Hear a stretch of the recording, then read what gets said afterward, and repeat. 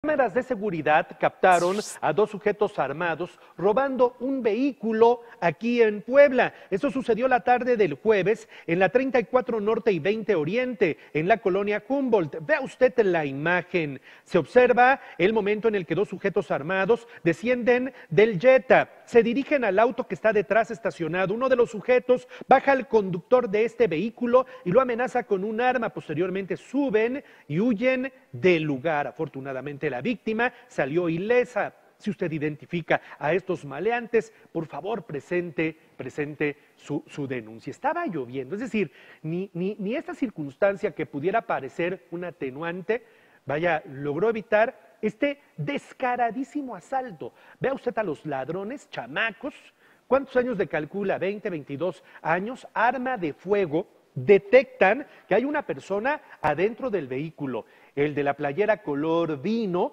lleva arma de fuego. Simplemente la víctima, la víctima pues levanta las manos, se baja del auto, levanta las manos y dice, llévense la unidad.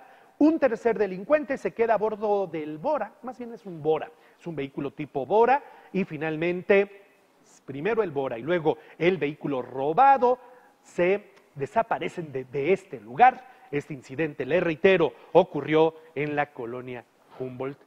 ¿Quién iba a pensar que estando uno estacionado, seguramente este chico, el del vehículo eh, que se roban, seguramente estaba esperando a alguien. ¿Quién iba a decir que en una tarde de lluvia iba a suceder esto? El ladrón simplemente, o los ladrones simplemente huyen y de esta manera, así, ¿cuántos segundos fueron?